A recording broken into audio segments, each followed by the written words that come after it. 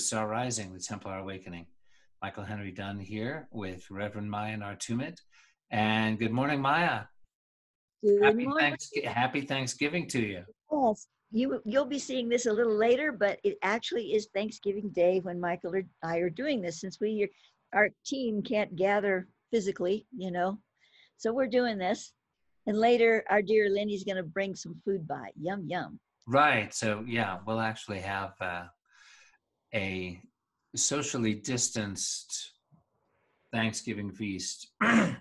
Right. But yeah, so there's a there's a funny meme talking about how the some states are saying you must limit your gathering on Thanksgiving to six people, unless it's a funeral, in which case you can have thirty people. And so what we'll do is we'll have a funeral for the turkey. That's our right. beloved pet turkey has died, and we have a cannibalistic. Well, we have a feast. Uh, where we eat, yeah, we're eating the turkey, and it's a funeral. And It's please bring refreshments. Please bring refreshments to the funeral uh, ceremony of our turkey. Cranberry sauce, you know, mashed potatoes, stuffing, things like that. So Yeah. anyway, We're gonna all eat in our own domiciles, but we're gonna imagine that we're all together. And then it's on Saturday we'll have our Zoom meeting. And so we're just gonna squish it all together. right, and I, unfortunately, you know, I think it, we won't have the feasting experience of, of Thanksgiving. If you're eating by yourself, you're probably going to eat less. Well, maybe you'll eat more. You know how you turn your clocks back, yeah. you know, for the winter?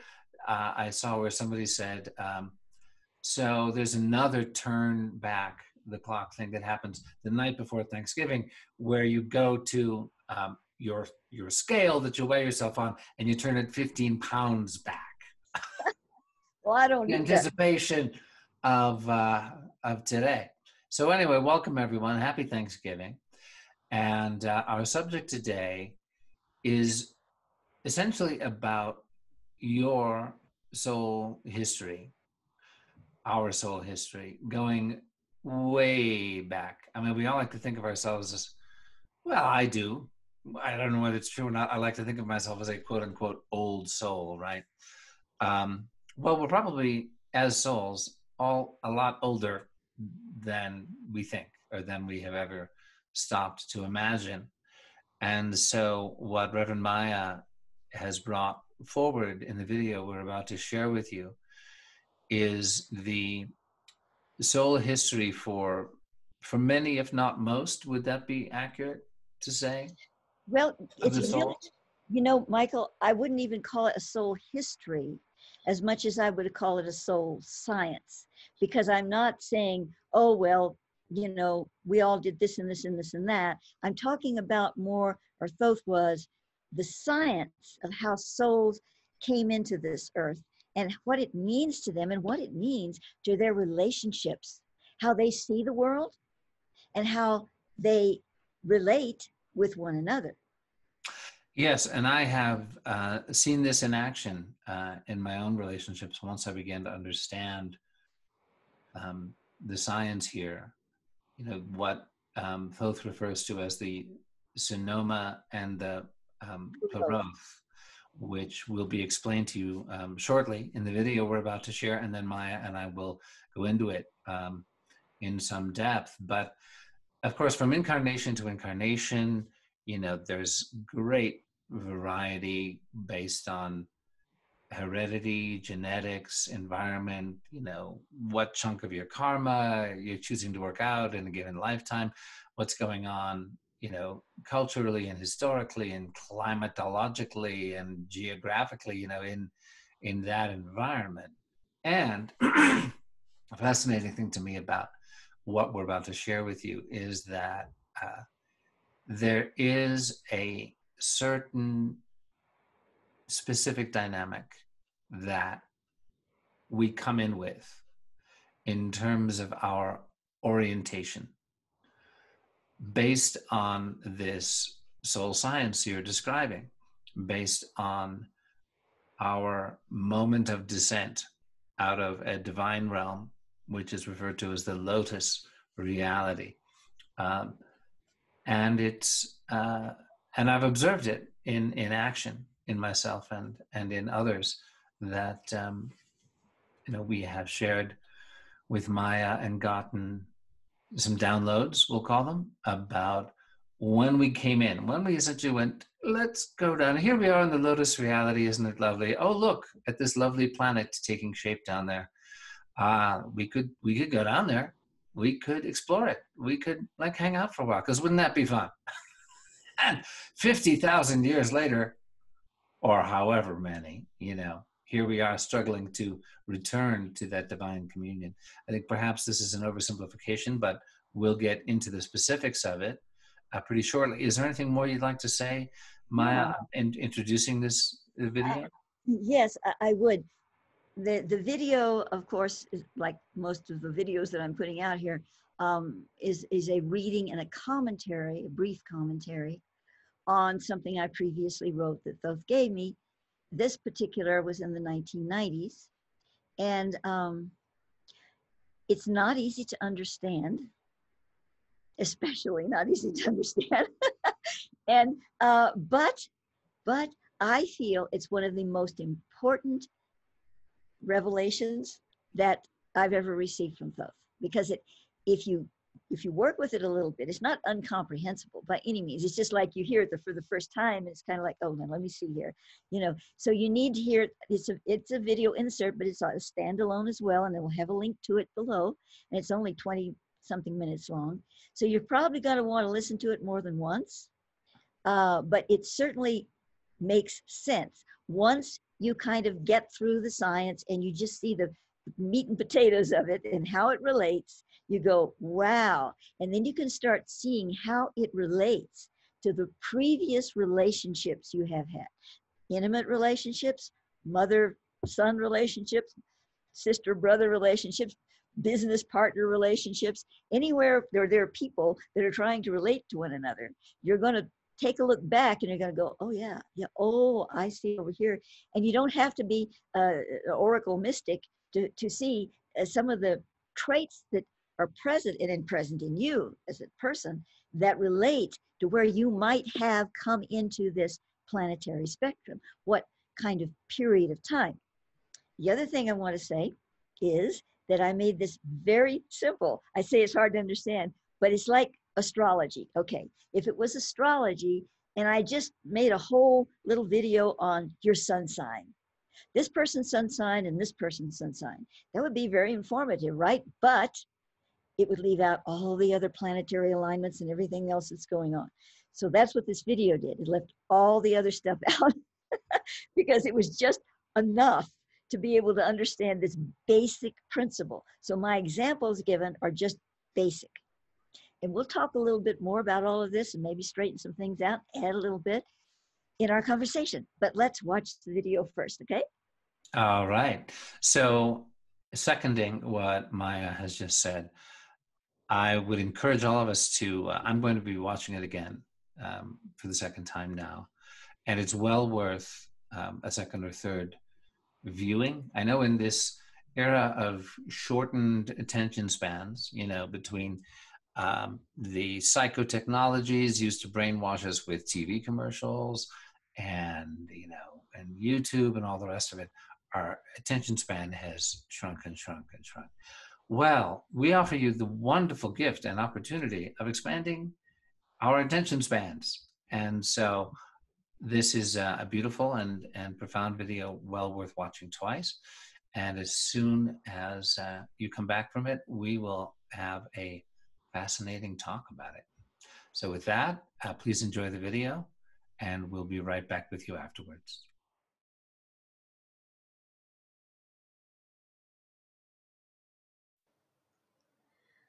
I'm reading to you from a 1995 article which I wrote for my then publication, Temple Doors. First, I begin with my vision. I closed my eyes and saw under my eyelids, somewhat like on a television screen, which differs from mental vision in that it is actually a neural sight, a weaving of light suspended upon a loom, upon which was something like Athena's web. It seemed to be alive and shimmering with awareness and being. It was composed of the four major colors gold, red, blue, and green. The gold and red seemed to be woven close together, and the blue and green were similarly bonded. Thus the gold red and the blue green were two distinct types that came together in an intricately woven pattern, forming this beautiful living creation. I asked what I was seeing, and I received the words, the great mystery. Going off script here, what all this led to, because I'm not reading the entire article to you, was the understanding that I was looking at some kind of genetic field and how it connected, not just for myself, but for humanity. And that's when Thoth introduced me to the terms Sunoma and Peroth. That's S U N O M A and P E R O T H.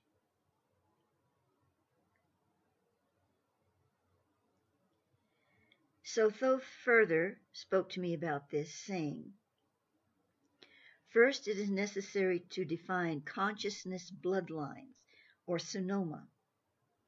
As human beings are incarnated, live, and then transition through the death process, they must resonate within a field of primordial soup or engendered brew. This is the cauldron which contains three worlds of being, defined here as chaos, consciousness of chaos, and transmutation of chaos. As a soul enters this threefold mix, or matrix through incarnation, it is at first separated from the womb of spirit. It is violated. The very act of being born is a tearing away of the veil of light that is the soul's most holy envelope. Yet through this act of violation, the first stage of the soul's development in that incarnation is begun. This is the process of divine alchemy involving separation followed by unification, which creates sublime form. This sublime form must again be violated in order to attain the next rung on the spiral of sublimity. Unfortunately, karma complicates this process and indeed makes the violation necessary each time a new cycle is begun. Thus, a soul is not always in a more sublime state at the end of its current life cycle than it was when it entered, yet the matrix is in place for this evolution to occur, and it does take place when the soul's separation slash will, some same as personal will, aligns with its destiny. Thus, ideally, as a soul reincarnates again and again, each birth creating another separation from the spiritual womb, the soul is led to a greater stage of sublime spiritual experience. Because each soul is an envelope for a portion of the one spirit, that individual soul carries in the consciousness of its cells the greater consciousness of the one spirit. Yet because of the separation and thus duality of the world, the one spirit consciousness in the cells of the individual incarnated soul registers through a consciousness division known as the individual sunoma or ancient bloodline consciousness. Each sunoma is a being unto itself in that it expresses a continuum of mind that has a specific work to engender through its vehicle, the incarnating soul, carrying forth its awareness. Each sunoma is unique, but there are various similarities in type. They assume patterns from consciousness vectors of the incarnating experiences, such as Egyptian, Celtic, or Greek patterns of spiritual cohesion. They do not contain the magnetics of individual experience, but rather like Chondrian and Chondriana, who are worker bees of the Sunoma's physical path, the sunoma moves into processing that aligns with the transformation of the greater world karmic magnetics. Now, I'm going to pause for a moment and, and talk about what chondrian and chondriana are. Chondrian and chondriana are pre-embryonic life forms discovered by Dr. Merkriel, a nuclear physicist who also bioengineered the life crystals technology. They have been found to exist in all material examined to date, including rocks. They assemble themselves from pure genetic material when needed. They are present in varying degrees of activity in the healthy human body, but not to the degree needed to effect the transformation of the physical form into that of light. Chondrian, male polarity, and chondriana, female polarity, have been observed under high magnification while literally attacking foreign substances and things like cancer in the human body. They possess superintelligence and seem able to tailor their approach to meet specific parameters, always to the detriment of the threatening organisms and to the benefit of the human body. And so this is what Thoth is calling the uh, worker bees of the Sunoma's physical path. So the Sunoma moves into processing that aligns with transformation of the greater world karma magnetics. In other words, the sunoma is a consciousness chondriana that creates its own opportunities to penetrate the diseased cell of world karmic forms. In this process, it also transforms personal karma, but only as an after effect of its central purpose, which is to transmute the whole consciousness cell of the planet. It is important to understand that while the sunoma is being evolved, by the incarnational experience, it does not emanate from that domain, but rather from the soul's star of origin. From this model, one can readily see how the myriads of souls from various places in the universes, whom have congregated here on earth, are intending to fuse their individual sunomas into a matrix of unity. This is unity beyond the understanding of race consciousness, although the weave of the lesser web does find its tendrils anchored to the greater web. While each soul carries a sunoma in their cellular vibration, which is active only through the blood energetic, many human beings on the earth have difficulty making the connection between the sunoma and their current incarnational being. When, the, when this connection cannot be made, the sunoma finds other pathways to feed into the system of chaos and thus creates a venting in mass deaths such as plane crashes, etc. In relation to this, you must understand that the sunoma enters activation on the vital level within the blood. This is a magical realm in which matter and spirit join to co-create the most potent alchemy. If an incarnated soul is in opposition or great enough resistance to that dynamic, the alchemical combustion of matter and spirit in their being, there will be a buildup of dynamic pressure seeking release from that which limits the sunoma.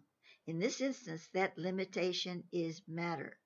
When enough sunomas have built up tension for release, there's a spontaneous reaction, creating a mass exodus of spirit from matter on the physical plane. I'm going to pause for a moment in the script and say that, you know, when we're seeing things like the massive amount of people perishing now in with the virus and, and in other ways as well, because if we look at it statistically, there are other mass evacuations on this planet that are much more severe than that even. Um, we have to realize that this is the kind of thing that's taking place here. It's not a punishment.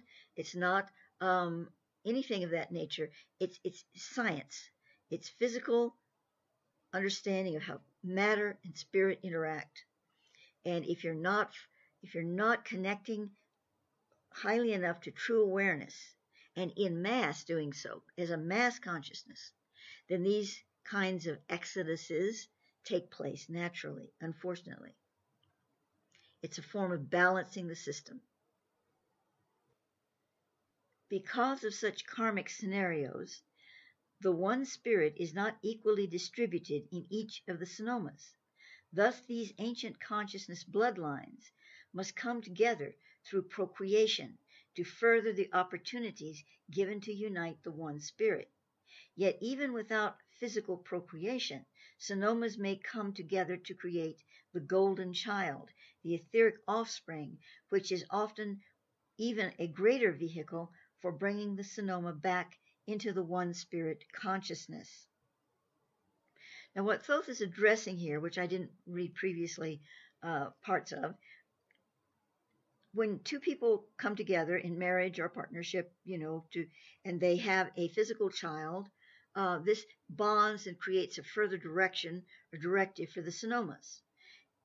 It wouldn't be necessary to do that if the awareness was higher. Um, possibly that's why we have overpopulation today, at least on the surface of the earth. They don't have that problem in the inner earth. Um, but it's also talking about creating the golden child.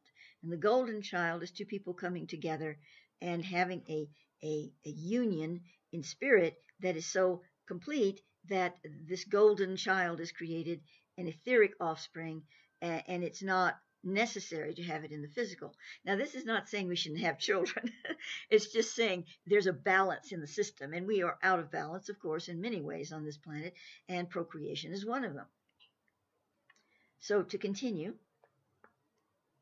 understand that not every soul on the earth at this time has an active sunoma. When we say active, we mean sunomas that contain awareness and thus activation of their consciousness, which is not the same as the host soul containing conscious awareness of the sunoma. These unaware sunoma we are calling tasi sunoma, meaning sleeping or without knowing of its form. Those sunoma who are aware of their embodiment and thus active in their process are octet sunoma, meaning risen into the heavens or shining. The moment in time when a Tasi sunoma becomes an octet sunoma is the Peroth, or moment of conjuncto in divine alchemy. So, if we have two people in an intimate partnership, let us say that one, we're, we're making an example here, represents the consciousness of transmutation in their sunoma. Transmutation is not within itself enlightenment, but the process of moving into evolving consciousness through which enlightenment is revealed at intermittent stages of process. Of the two consciousness bloodlines of both partners, this one partner that we're speaking of here, let's call it partner A, is the younger, having its Peroth at the time of the fall. Thus, partner A is resonant with the consciousness of return to light and carries it in the pain of separation, of violation, as well as the memory of what once was and what will be again. Understand that the time in which soul A receives its Peroth is the moment which designs the emotional lens of the birthing octet sunoma, awareness sunoma. The Tasi sunoma, unaware of sleeping, of course, has no emotional orientation as it has no experience of awareness, but the octet, the aware, is given reference of its being through imprinting with the, that first birthing moment. The awareness sunoma does not of itself have an emotional body, but when it begins to connect and work through its soul and genetic host into the conscious mind of that soul, it is in turn it in turn registers the original imprinting of the Peroth into that soul's emotional body. Remember, the Peroth is that moment of contact. Thus, soul A, who is at this stage in his life at times conscious of his octet sunoma, is experiencing the motivation of his octet peroth through his emotional being. He thus thinks in accordance with that imprinting as well. All his experiences of the sunoma are through the lens of its focus. Understand that this is not an inappropriate perspective. It is exactly where he needs to be at this time. Such lenses or filters are stages of sacred alchemy, not imperfections or illusions to be discarded. They are a means to the greater conjuncto. No alchemical process is complete without each stage of its formalization. Through Soul A's Anerekt archetype, and this is referring to a card that was drawn for this individual, he is revealed as both the alchemist and the substances of the alchemical process. Thus, he is also the process itself. In his threefoldness, he is seen as mercurial, for the property of Mercury is constant violation and reunion until the marriage is achieved. Within this processing experience, Soul A consciousness is focused through the lens of his octet sunoma his awakened ancient bloodline, which is to constantly move toward the white Mercury form, which will create the alchemical marriage, the union, and the bliss. All that he sees and experiences, all that he feels and knows, resonates from this reality. Yet each sunoma, even an octet or an aware one, is a limitation unto itself, for it is not one spirit, but a fractal of one spirit. It must connect to other paros, other moments of, of awareness that, that say, this is when I start being aware, in the linear time spectrum, other imprinted consciousness, in order to complete its purpose. For Soul A, as the threefold alchemist, substance and process, it would seem to have all the ingredients but one. The azoth, which in alchemy ascends from earth to merge with the solar and lunar rays, is little revealed in the alchemical texts remaining in the current earth period.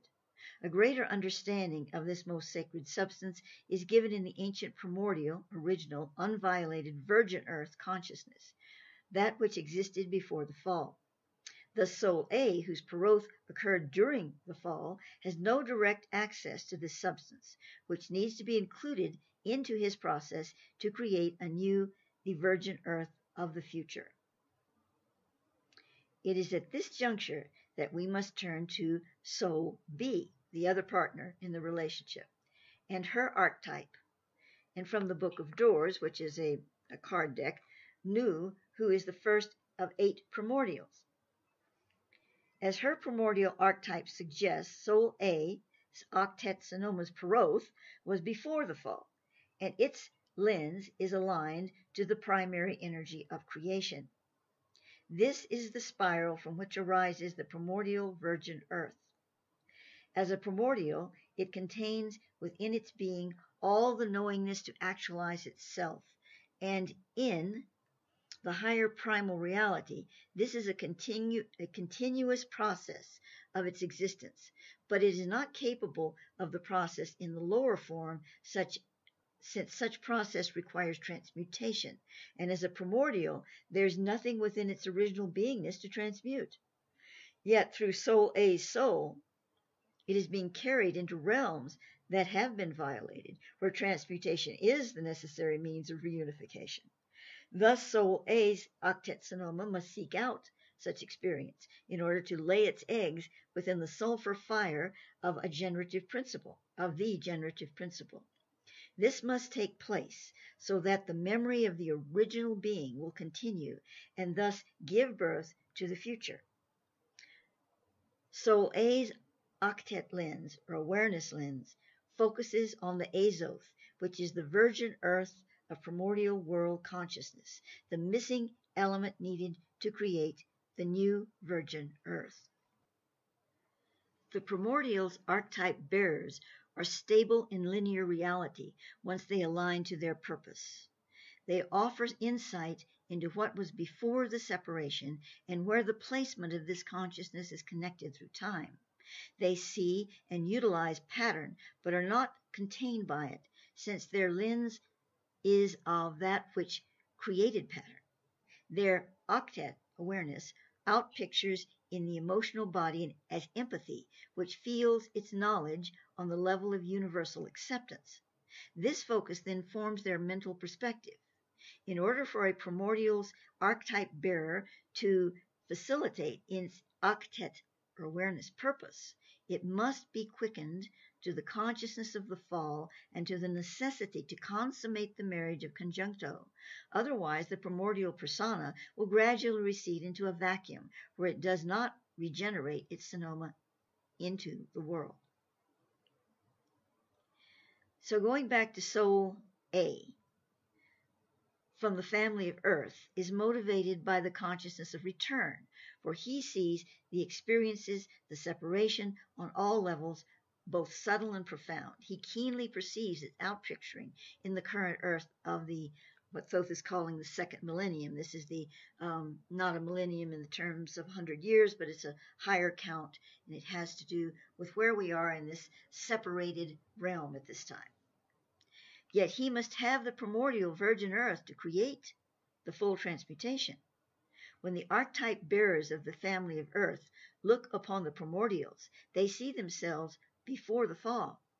There is a great sweetness in this vision, but also challenge, for the focus of the primordials must be quickened by the consciousness of separation in order for the alchemist of the earth family to create with the primordials a marriage of perfection in another way of understanding, in order for the egg laying to take place in the flame so that the magical mountain of the moon may form, the alchemist must reach back before his Peroth into a consciousness that is not a part of his octet or awareness sunoma, and receive the eggs or seeds of this original knowledge.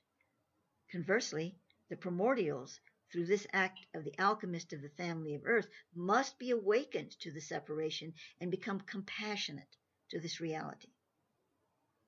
In conclusion, I feel that this information which Thoth gave me those years ago is absolutely enlightening in regards to not only relationships of any kind, even business partnerships, mother, father, you know, sister, brother, whatever, relationships, and also, of course, intimate ones.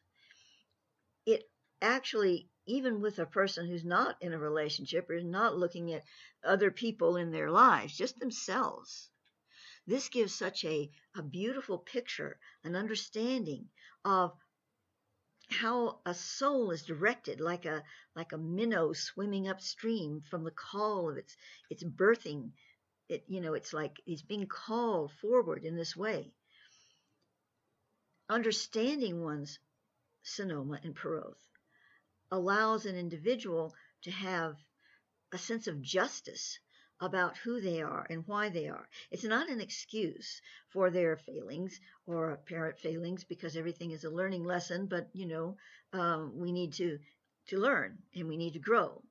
But it shows, it demonstrates that behind all the failings, behind the, the things that seem to limit one and keep one out of the, the, the true streaming of what they feel is their, you know, divine adventure in life, there is something that is saying, wait, yes, maybe you aren't, uh, maybe you're missing the mark in ways, but understand that behind all of that, there is a deeper uh, path, a deeper calling that is saying the reason you're missing your mark is because you're not in sync. You're not truly awakened enough to your uh, sunoma, and thus the moment of Peroth when that occurred and created that sunoma. So, of course, how are you going to find these things out? I mean, you could have a session with me, I guess, and find them out, but that's a rather limiting approach. Um, it, it doesn't have to be defined in these terms. A person can come to realize these things in other ways. They don't have to understand Sunoma Peroth in the sense of, you know, terminology, or even as exactly as it's presented by Thoth here. But there are people constantly coming into contact with this and understanding it on an intrinsic nature, which helps them, provides them with access to to a, um, less self judgment and more recognition and being able to look into the mirror and see where they are missing the mark and why. most people that are unwilling to look into the mirror is because they have so much self judgment. They can't look into that mirror without judging themselves so harshly that it's just too painful. But if they understood the principle of the Sinoman Peroth, they would more easily be able to look into that mirror and view themselves as the dweller on the threshold.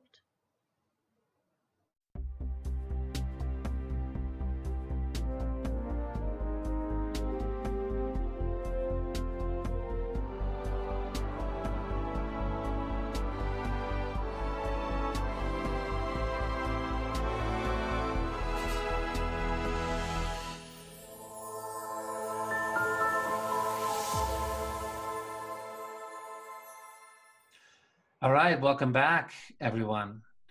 So that video really, um, I mean, when I listened to it, I decided, okay, this is high and heavy stuff. I'm gonna put the my smartphone uh, on the pillow next to me in bed, and I'm going to just let let all this, you know, enter my consciousness like directly through my ear here as I'm lying in bed. I'm like, you went to sleep.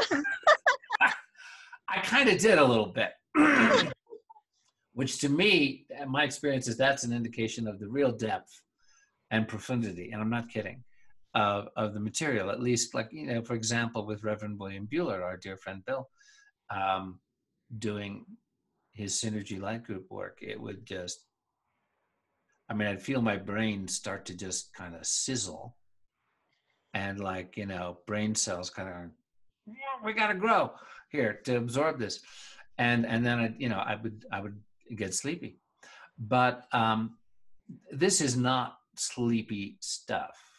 Um you know in in terms of the importance to you dear viewer of your own soul history of a glimpse of the dynamic from which many if not most souls on the planet um, sprang from, came down from. And so, Maia, I would just ask you to, um, you know, in this moment, because of course we always love to bring everything back to this moment in time here in the, yeah, 11 a.m. Mountain Time on Thursday, November 26, 2020, right? In the middle of all that. And who knows, viewer, maybe you might be viewing this even years later and you know things that Maia and I don't about what unfolded after yeah. November 26, 2020. Oh my gosh. Um, but, you know, just to bring it into, um, you know, obviously the, you know, political, geopolitical, ascension related stuff, that's one thing.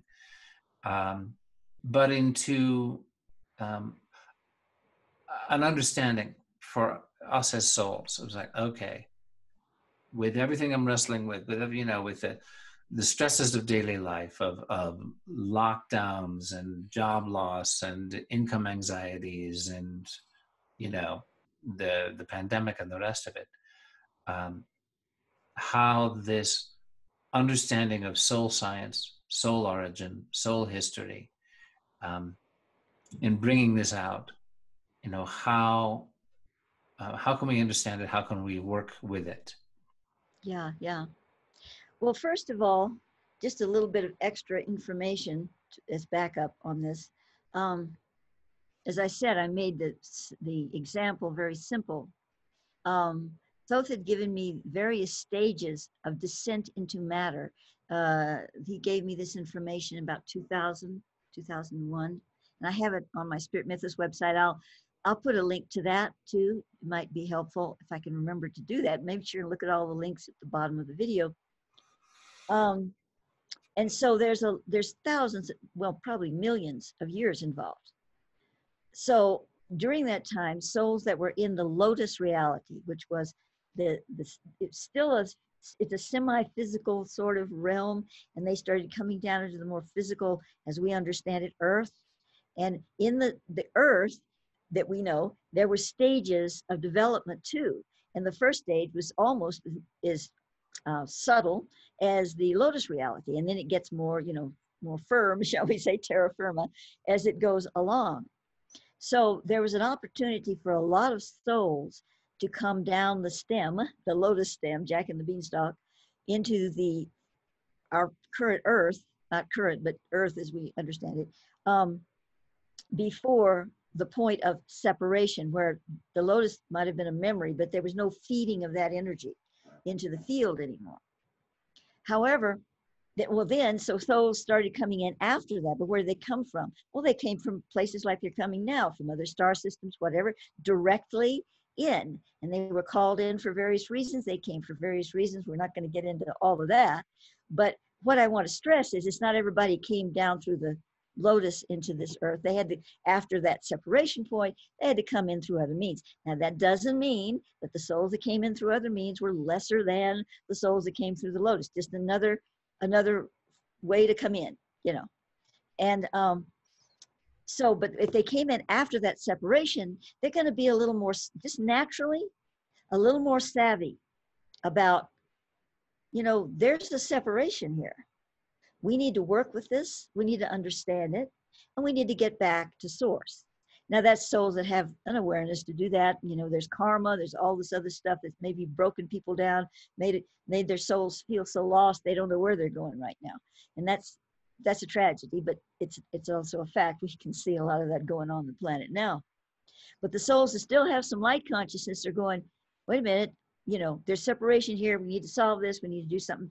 You know, they're going to be very proactive in that.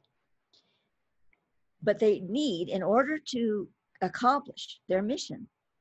They need to connect to souls who have a de- developed sense of what it was like before the separation.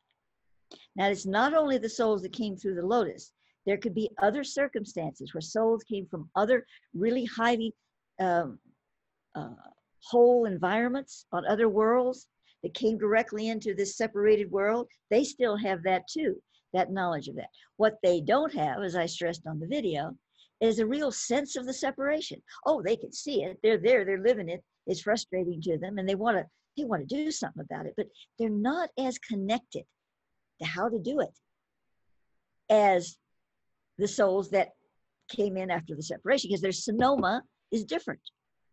But that doesn't limit them. That does not limit them.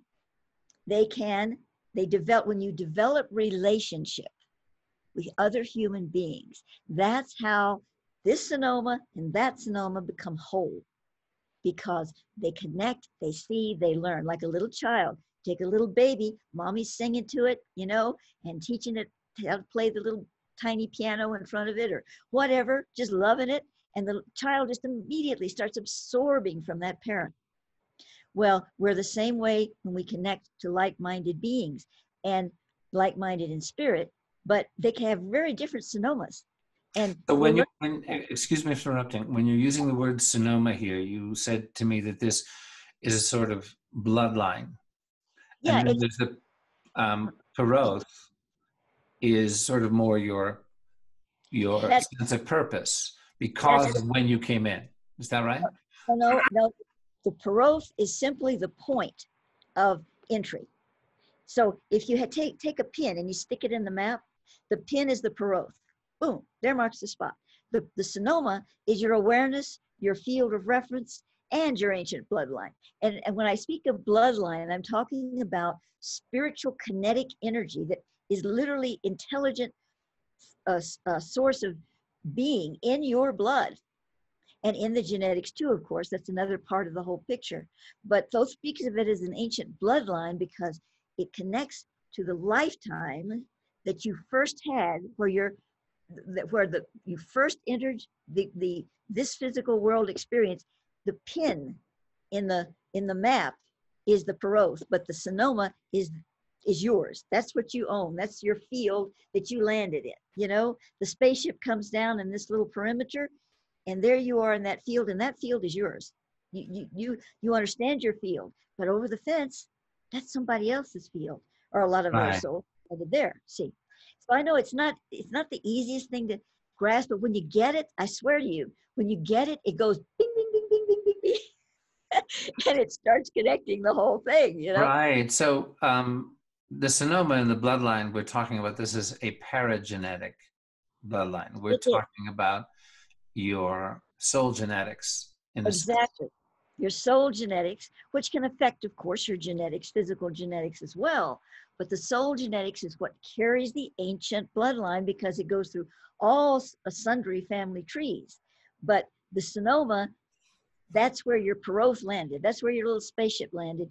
And no matter how many lifetimes you've had, how many paragenetic, uh, you know, places you've gone, um, and, and genetic fields that you've incarnated in, you carry that that you know this is how it is. And you it changes with i mean parts of it change for you in your in your field of reference but that sunoma doesn't change. That place where you landed that man that's with you and you're gonna it's gonna come out. It's gonna come out in the, the decisions you make the relationships you make the karma and dharma you create. All of those things all of those things come out of the sunoma because the sunoma is connected directly to your creation star. That's another topic, but that's the star your soul began in. And it could be anywhere in the universe, but uh, it's where the decision was made on some level of consciousness or beyond consciousness, where you were going to land on this planet. So when you speak of, you know, you came down in your little spaceship, you're speaking figuratively. Oh yes, of course, yes. Right. I just thought it was important to point that out because, right. you know, there are spaceships and they do land. Right. People do get out. Right. You know. um, so this is just when talking about a descent from the lotus reality. Um, I created an air balloon. An air balloon is a little more figuratively accurate right? that we're talking about, um, obviously, at some point, we're talking about taking physical incarnation. And you described to me earlier, before we began recording, the process by which, you know, the evolutionary process by which the physical expression that we had as souls in lotus reality began to sort of densify um, and become more um, elaborately manifested in a form suitable to Earth. Yeah, it's, it's where that's where Earth becomes the terra firma. Before then, yeah, you had an Earth under your feet, but there's a whole different kind of energy to it, and gradually that shifted until it was knock on wood. You know, you really feel like there's nothing else because it's so solid. But of course, we know it's not solid. We all, uh, uh, just about everybody knows now that when you look at an atom or something, there's giant fields of space. You know, every their table is just filled with space, but you, it doesn't feel that way when you touch it. So you feel so limited now, even though right. you kind of know that's not true. Your every sense in you tells you that it is true. Whereas before all of that happened, there was an earth under your feet, but you had a whole different reality around it, which I can't even know, much less put into words. Okay, quick little tangent question here. So, terra firma is becoming more firma, right? but actually, it is. But right now, the space we're in, because we wanted to bring it back to the now, it's becoming less firma. Right, because we're on the ascension timeline. And we're in this uh, Exactly. Star gestation. People are having missing time more, and I'm not talking about just being taken up by little gray guys. I'm talking about real feelings of time shifting. You know that that's not connected to that in your own inner space. I have a lot of people tell me that happens to them, and they're having more people seeing things in the ether, seeing things that shouldn't be there. Um, you know, there's all kinds of shifting going on, and all of these sightings of um, eh, not just the little metal UFOs, but the the intra-dimensional experiences. I know we have more ability to film them now, but there's really more of it happening, or we're seeing it more. You know, we're actually right. witnessing these things in the clouds and these holes opening up in the sky, and you see these videos on YouTube. I mean, all of this is part of the shifting of our terra, terra firma to become New Earth. Okay, well, going back in time, as we were describing this moment when souls are coming down the the lotus stem, you know, the, the stem from the lotus reality, and the Earth is becoming um, more terra firma, as you say. Mm-hmm. At at what point? And you've described different epochs during this dynamic, during this process, which lasted over a period of millions of years. But then again, time was counted differently at that time. But I'm curious, at what point in the evolution of Earth and the conscious beings inhabiting it did the inner earth reality kick into being is does that ah. figure into this yes that's a good question well what i've learned so far about that is that there was a there was a point where the earth literally did a twist. It's like it's like if you had um, an outer sheath to the earth energy sheath and then you had this forming terra firma earth in the middle and you sort of just twisted it like that. And the outer sheath went one direction and the in the inner you know the earth earth went another. And and as that occurred and i've mentioned this before in some other shows um the uh the dimensions were shifted slightly to allow the hollow earth the inner earth to form and there was a period of time where it formed there wasn't any life in there at that point but it was forming because there's evidence of of I you know of um, volcanic action in there. Nothing that's going on now, but but when I saw some of this on my journeys, um, you know, I said, well, that looks like a volcanic uh, crater, a big one, and they're all living in it, you know. And as yes, that was a long time ago. We have no vol, you know, surface surface volcanic action, surface and their surface now, but it, it happened. So all of this had to take place. And exactly when that twist occurred, I would say that it was somewhere in, in regard to the point where people were even able to come down the stem of the lotus. That's what I'm getting right now. Because previous to that, you could there was there wasn't no stem, at least not one that could, you know, you could access that souls could literally go down into the into the the the the navel the the core. Before the, the lotus was you know just receiving nutrients from this sort of earthen condition that was not yet ter- terra firma. But when it started being terra firma that's when the door was open.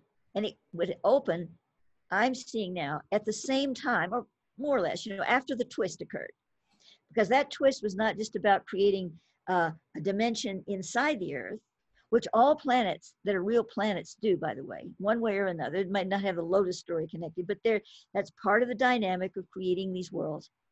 Um, so when that happened, other things happened as well. The Earth became more re- the physical Earth, semi-physical Earth, became more realized, and as it did, the lotus reality could, you know, the souls could begin to say consider if they wanted to go down that stem. So there's there's a there's a syn- synergy there.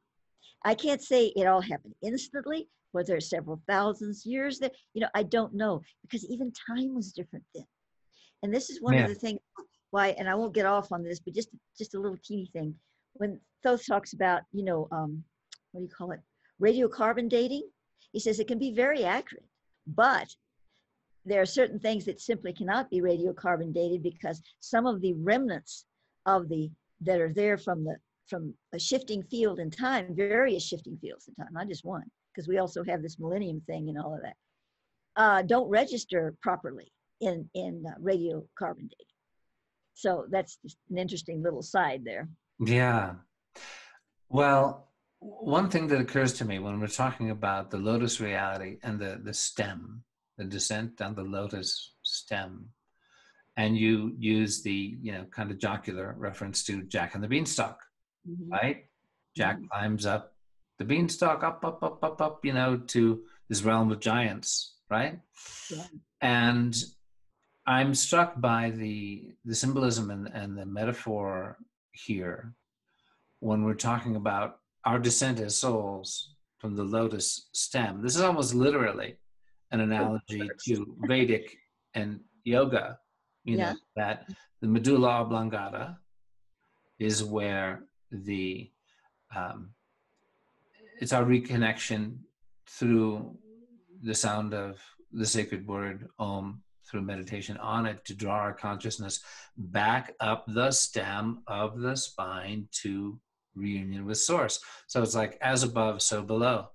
Microcosm macrocosm you know that um, literally the practice of of many different forms of meditation particularly the ones generally referred to as kundalini um, kriya yoga the technique taught by paramahansa yogananda and the mahavatar babaji lineage um, is of this kind where it's literally about bringing the energy and consciousness back up the stem of the spine to reunion with the lotus reality, which is literally the thousand petaled lotus. It is referred to in the brain, where cosmic consciousness is experienced. It's what enables the human vehicle, the soul in the human vehicle, to experience reunion with source, cosmic consciousness, samadhi, is because of the thousand petaled lotus, which we need to reascend the stem.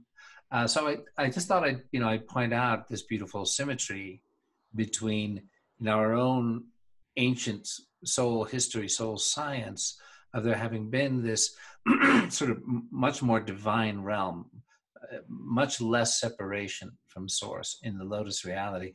And down the stem we came, and you know, the ones who, who have a memory of it are like, well, hey, uh, separation? Well, there's no separation, you know, but uh, but on the other hand, I'm separated. How did this happen? Yeah. Then, yeah. yeah. And then the souls who come in later, it's like, you're kind of daffy. I mean, what's your deal? You don't get it, do you? You know, about uh, because we, and I think I'm probably in this category, you know, um, don't have that still visceral you might even the visceral means guts you know um, and, and obviously we're talking about higher centers here but i'll say visceral you know awareness of you know of the indissolubility of our connection to source that in fact there is no separation.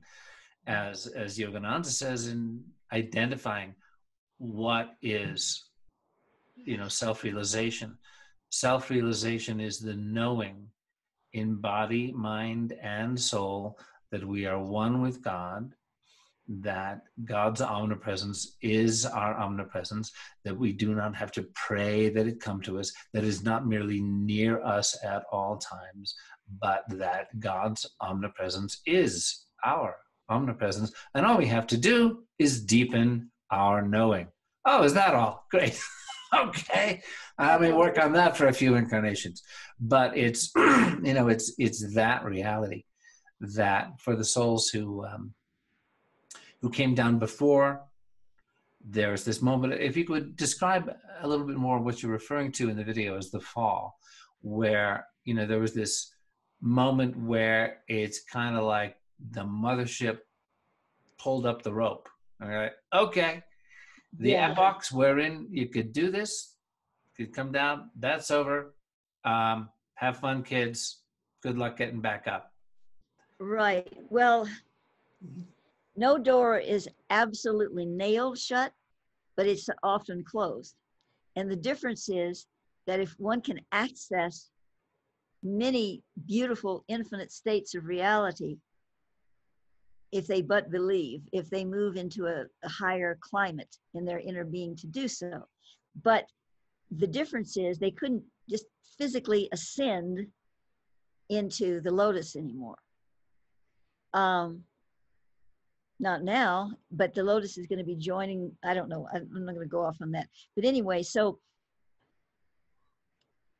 what was your question? I'm having trouble remembering it myself at this point.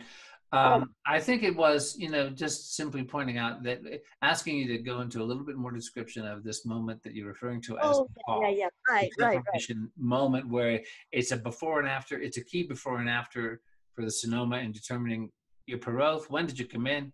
What's your orientation? What was that moment? That that moment, you know, probably hundreds of thousands of years, yeah, whatever. Where suddenly it's like, okay, there's what's called the fall, which is a biblical term, you know, for Adam and the- Eve, the serpent, the apple, and all the rest of it, the fall of man away from divine awareness, and oh my God, I'm naked, and I'm gonna have, you know, women will have children with pain, and off I go waiting That- for the Virgin Mary and Jesus to show up.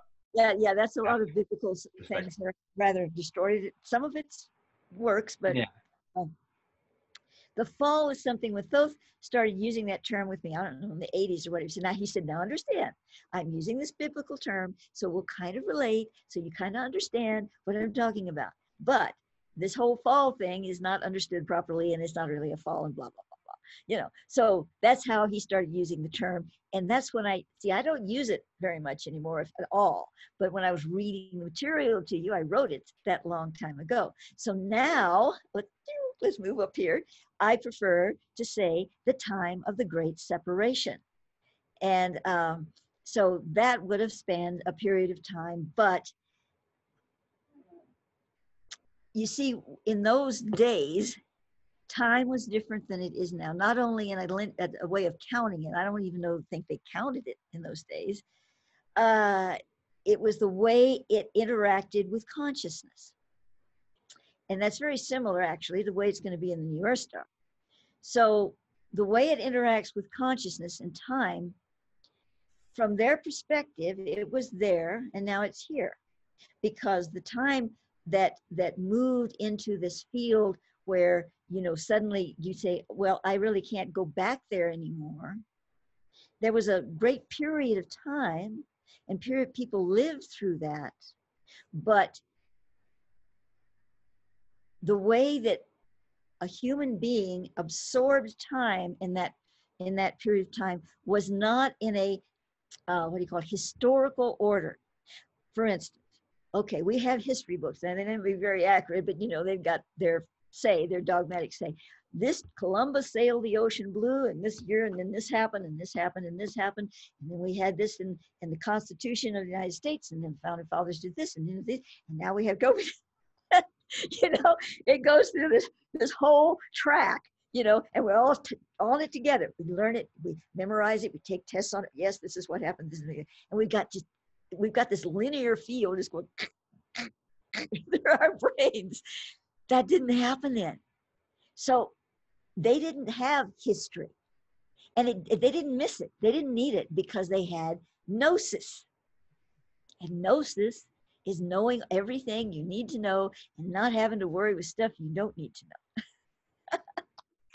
So so that's why it's hard for me to say, well, it happened right here because that's how that's how it Yeah, stuff you didn't need to know, like in what year was Millard Fillmore inaugurated as president? You know? Right. yeah, yeah. Yeah. So let's let's let's bring it back to understanding in a very as practical as we can manner for now how we can use this knowledge. First, listen to the video a few times.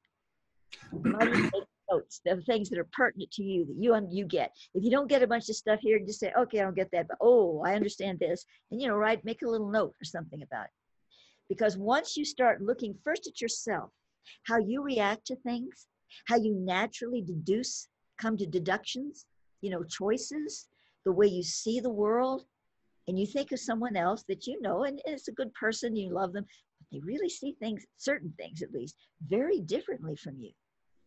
And you go, how can that happen?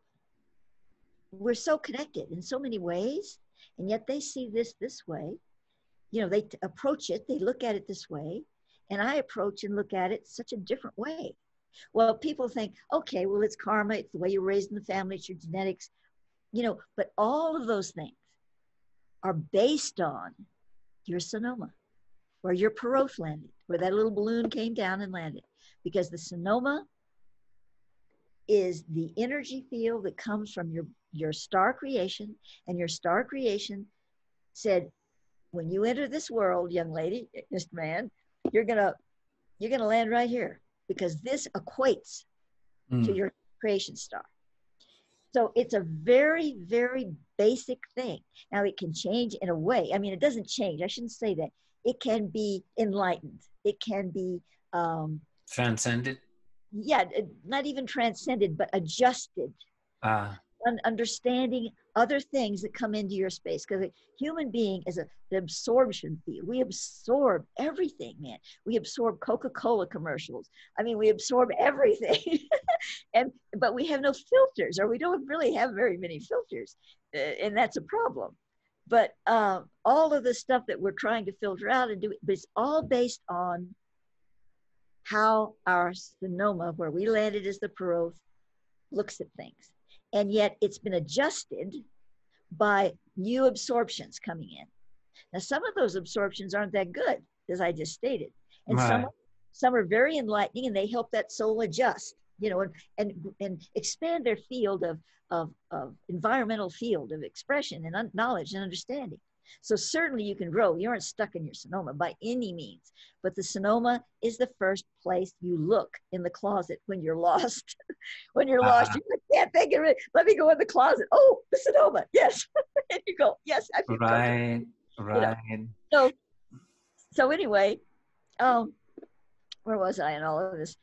So when when you when you start interacting with others and and sometimes you receive signals that you absorb that are incomplete. Let's call them incomplete.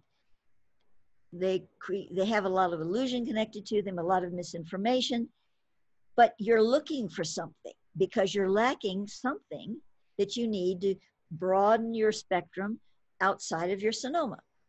And if you don't have awareness filters set into your being, those that you cultivate from your higher soul beingness, you can get pretty lost with all this other information trying to help you out with your sunoma.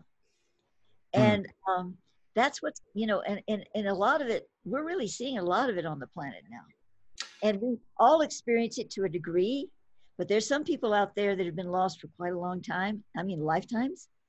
And, you know, they just have whatever reasons come up that messed up their, their, their compass. Their sunoma in a way is kind of a compass it's just you know it's crazy right now because they're just desperate yeah. desperate to find the path that enlightens that allows their sunoma to to be informed you know to allow the compass the sunoma to be informed so it can it can uh, broaden the horizon right and that w- could shed light on okay what's my true soul work right what's my orientation, perspective, drive, momentum, dynamics, such that I am looking in this direction and not this one.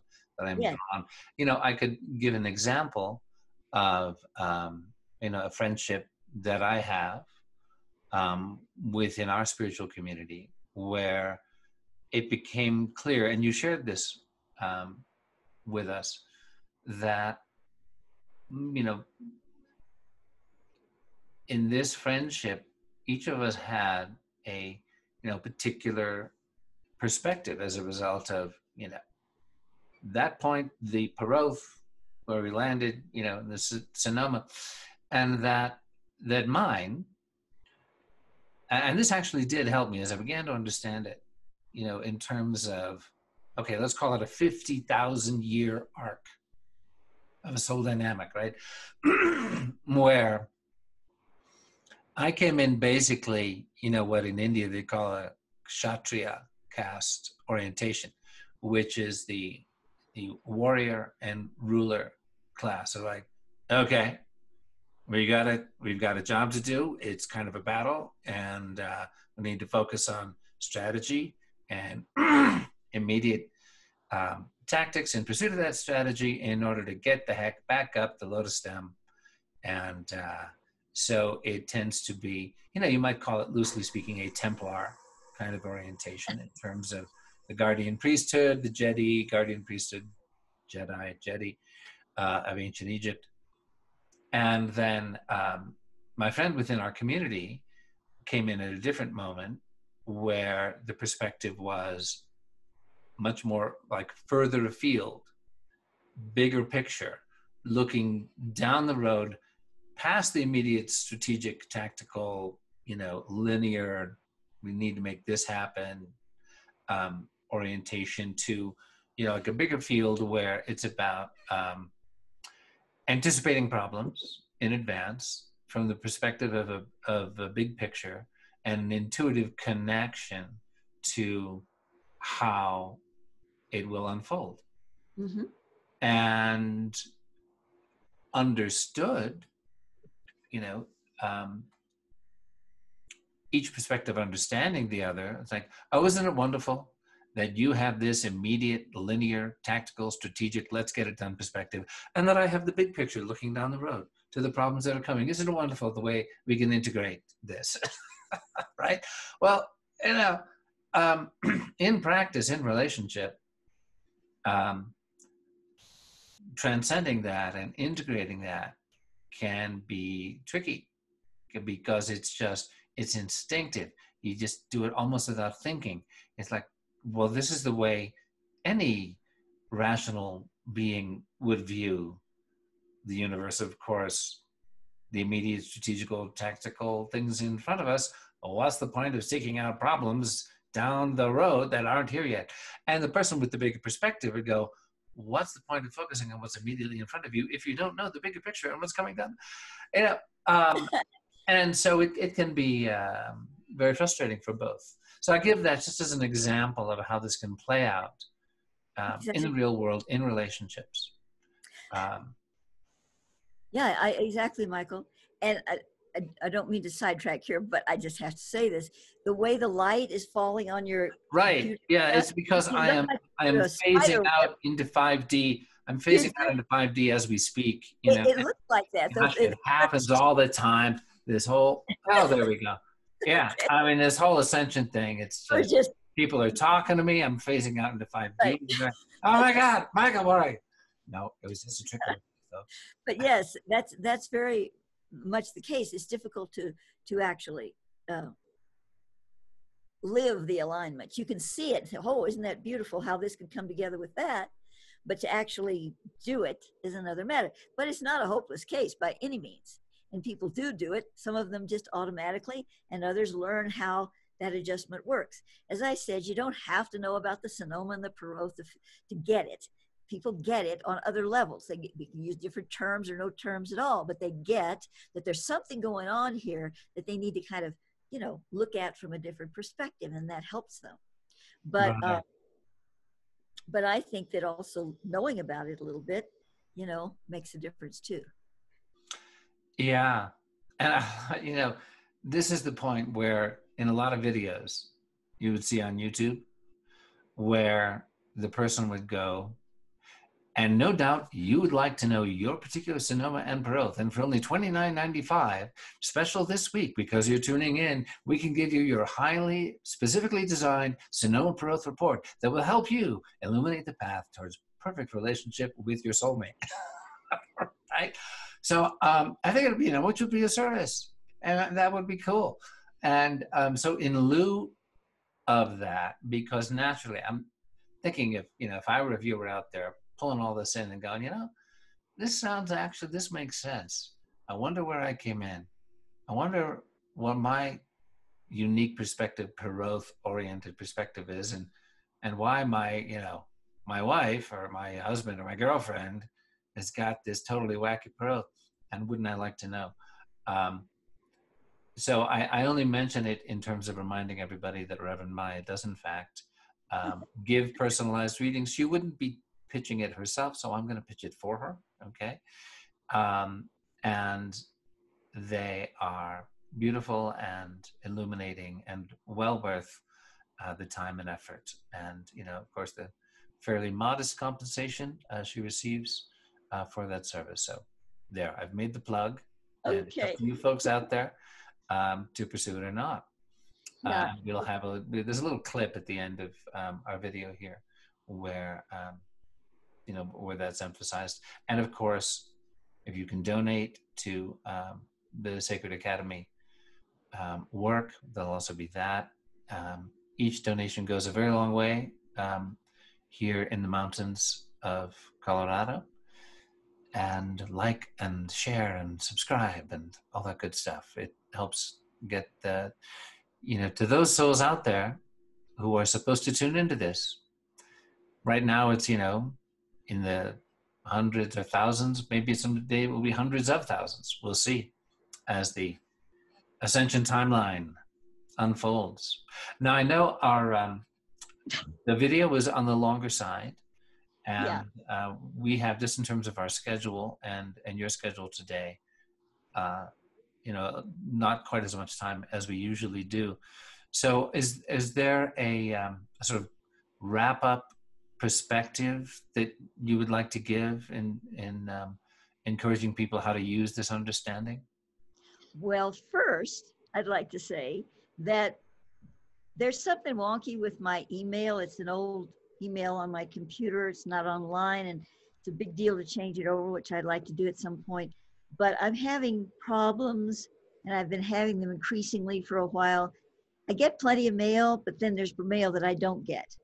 So I don't know why. It doesn't bounce to the other person or anything, it just disappears. So if you're contacting me, you're and you don't get a, an answer from me in like two days, send it again. You know, keep a copy, keep sending it. and I always answer within two days, unless my computer's broken or you know I send it or something.